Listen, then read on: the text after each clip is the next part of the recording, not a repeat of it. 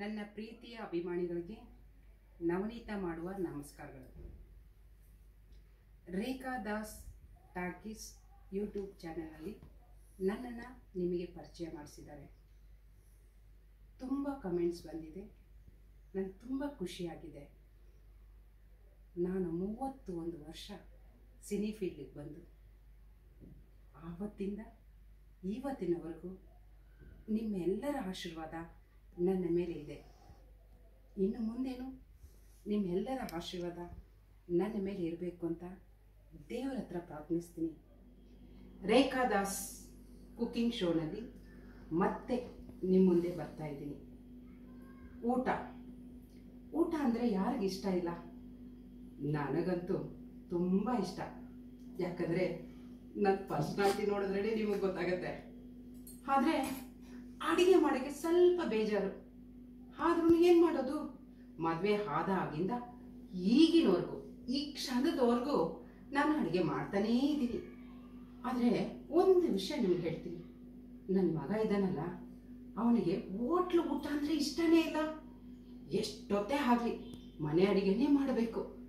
ನಾನು ಬೆಳಗ್ಗೆ ಆರು ಗಂಟೆ ಕಾರ್ ಬರುತ್ತೆ, ನಾನು ರೆಡಿ ಆಗಬೇಕು ಶೂಟಿಂಗ್ಗೆ ಅಂದ್ರೂ ನಾಲ್ಕು ಗಂಟೆಗೆ ಎದ್ದು ಬೆಳಗ್ಗೆ ಟಿಫನು ಮಧ್ಯಾಹ್ನ ಊಟ, ಸಾಯಂಕಾಲ ಹಾಲು ಕಾಯಿಸಿ ಫ್ಲಾಸ್ಕೆಲ್ಲ ಹಾಕ್ಬಿಟ್ಟು ಹೋಗಬೇಕು. ನನಗಂತೂ ಒಮ್ಮೊಮ್ಮೆ ಹೊರಗಡೆ ಊಟ ತಿನ್ನೋಕೆ ಆಸೆ. ಅದಕ್ಕೆ ನನ್ನ ಮಗನಿಗೆ ಗೊತ್ತಿಲ್ಲದೆ ಕದ್ದು ಅಲ್ಲಿ ಇಲ್ಲಿ ಪಾನಿಪುರಿ ತಿನ್ಕೊಂಡು ಬಂದ್ಬಿಡ್ತೀನಿ.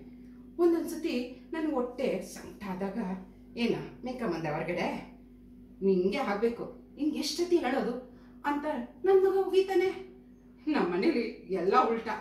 ಎಲ್ಲರೂ ಮಗ ಹೊರಗಡೆ ಊಟ ಮಾಡ್ಕೊಂಡ್ ಬಂದ್ರೆ ಅಮ್ಮ ಬೈಯೋದು ನೋಡಿದಿರ ಆದರೆ ನನ್ನ ಮನೆಯಲ್ಲಿ ನಾನು ಹೊರಗಡೆ ತಿನ್ಕೊಂಡ್ಬಂದು ನನ್ನ ಮಗನ ಕೈ ಉಗಿಸ್ಕೊಳ್ತೀನಿ ಇರಲಿ, ಅವನು ಹೇಳೋದು ಒಳ್ಳೇದಕ್ಕೆ ಅಲ್ವಾ? ಹೊರಗಡೆ ಊಟ, ಸೋಡಾ ಹಾಕಿರ್ತಾರೆ ಕ್ಲೀನಾಗಿರಲ್ಲ ಅದಕ್ಕೋಸ್ಕರ ಅವನು ಹೇಳ್ತಾರೆ. ಆದರೆ ನಮ್ಗೇನು ಮಾಡೋದು? ಮನೇಲೆ ನಾನೇ ಮಾಡಿ ಮಾಡಿ, ನಾನೇ ತಿನ್ನಕ್ ಬೇಜಾರು ಅಂತ ಸ್ವಲ್ಪ ಹಂಗೆ ಹಿಂಗೆ ಹೊರಗಡೆ ತಿಂತೀನಿ ಅಷ್ಟೇ. ಸ್ನೇಹಿತರೆ, ಊಟದ ವಿಷಯನ ಬಿಡಿ. ನಾನು ಹಾರ್ಡಿ ಕಿಚನಲ್ಲಿ ಏನು ಅಡುಗೆ ಮಾಡ್ತೀನಿ ಅಂತ ನಿಮ್ಗೆ ಹೇಳೋದನ್ನೇ ಮರ್ತೋಗ್ಬಿಟ್ಟೆ. ನಾನು ಏನು ಅಡುಗೆ ಮಾಡ್ತೀನಿ ಅಂದರೆ ಅಯ್ಯೋ ಸ್ವಲ್ಪ ಯಾಮಾರಿದ್ರು ಎಲ್ಲ ಹೇಳ್ಬಿಡ್ತಿದ್ದೆ. ಆಮೇಲೆ ರೇಖಾ ನನ್ನ ಮೇಲೆ ಜಗಳಕ್ಕೆ ಬಂದ್ಬಿಡೋಳು. ಅವಳು ಮೂಡಿ ಬೇರೆ. ಅವಳು ನಾನು ಮೂವತ್ತು ವರ್ಷ ಸ್ನೇಹಿತರು.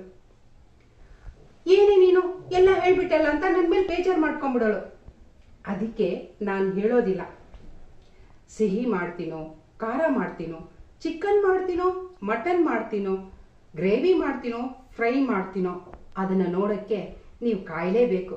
ನನಗೋಸ್ಕರ ಕಾಯ್ತೀರ ತಾನೆ? ಏನಿದ್ರು ಮನೆ ಊಟ ಮನೆ ಊಟನೇ. ರೇಖಾದಾಸ್ ಕುಕಿಂಗ್ ಶೋನಲ್ಲಿ ಬರುವ ನಾನು ಮಾಡೋ ಅಡಿಗೆ ನಿಮಗೆ ಇಷ್ಟ ಆದಲ್ಲಿ ಲೈಕ್ ಮಾಡಿ ಕಮೆಂಟ್ ಮಾಡಿ ಶೇರ್ ಮಾಡಿ ಸಬ್ಸ್ಕ್ರೈಬ್ ಮಾಡಿ. ಹಾಗೆ ಪಕ್ಕದಲ್ಲಿರುವ ಬೆಲ್ ಐಕಾನ್ನ ಒತ್ತಿ.